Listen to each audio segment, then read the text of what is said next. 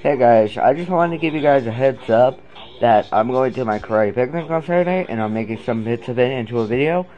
So, if the karate picnic video gets 100 likes, I will review I will review my school crush. As soon as it hits 100 wait no, not 100 likes. 150 likes. When my video reaches 150 likes for the karate picnic, I will reveal my school crush.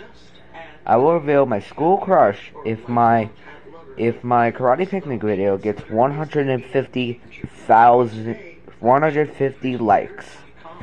Alright, good night guys. See ya.